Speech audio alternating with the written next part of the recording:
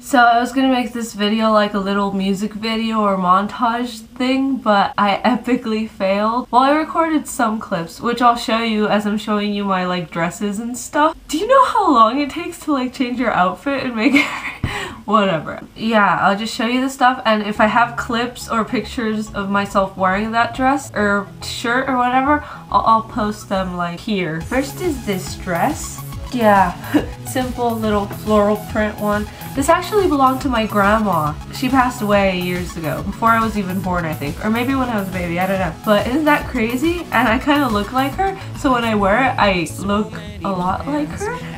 This is another dress. Yeah, it's just a regular strapless green dress. It's kind of like Tinkerbell green. I actually wore it for a friend of mine's quinceañera and it was super long actually. It went all the way down to my like toes, but I cut it so I could wear it regularly. Here's another strapless dress. This one's plaid. Yeah, I like plaid dresses. I like plaid anything.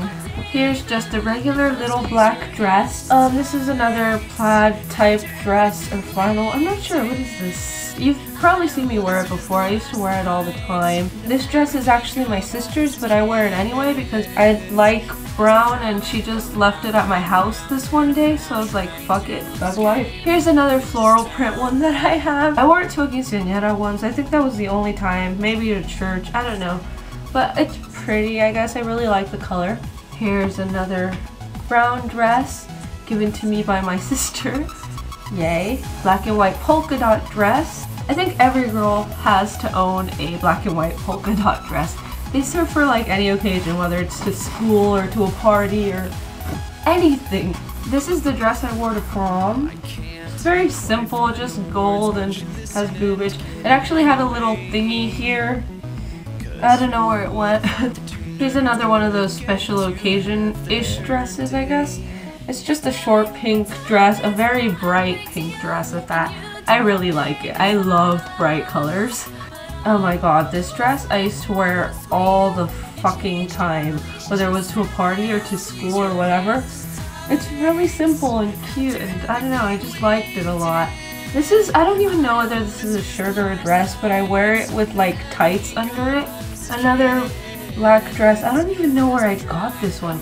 It just kind of appeared in my closet one day and I was like, ooh, black dress, cool. I'm gonna wear it. This dress I wear all the time. I don't know why I like it so much, but I just wear it for everything. Regular shirt type top and a really nice bottom. This is actually the dress I wore to my brother's wedding like a year ago. I've worn it other times though. It's another one of those use and reuse dresses. This dress I used to wear to like every party. I think I originally bought it for a banquet. Another one of those bright colored dresses that I really love. And it's sparkly in some parts. I don't know if you can tell. It's like I'm wearing Edward Cullen in leprechaun form. Here's another one of those dresses I wear all the time. I think this one used to belong to my aunt and it was also very long but I made it super short so I usually just wear it with like tights under. Another polka dot dress. It's a strapless too. I used to love strapless dresses and now I gained weight and they look kind of gross on me, so I like avoid wearing them. Has a little bow, cute. Another black strapless dress. This one used to be my sister's, but now it's mine because it fits me better and it looks a lot better on me.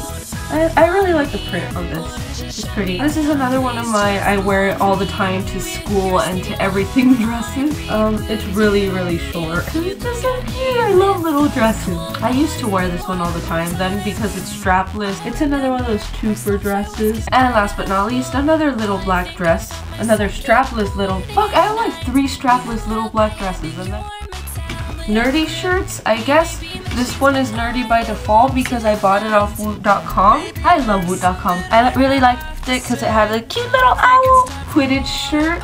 You've, you guys have seen me wear this before on like Daily Booth and vlog TVs and stuff. Another Harry Potter shirt. I bought this one ages ago. It just has a Gryffindor thing on it. A shirt with emoticons on it. Actually, I don't know if this counts as nerdy or not. I guess it does, but I bought it at Charlotte Russe. And I guess this one counts as a nerdy shirt. It says So Dark, The Con of Man.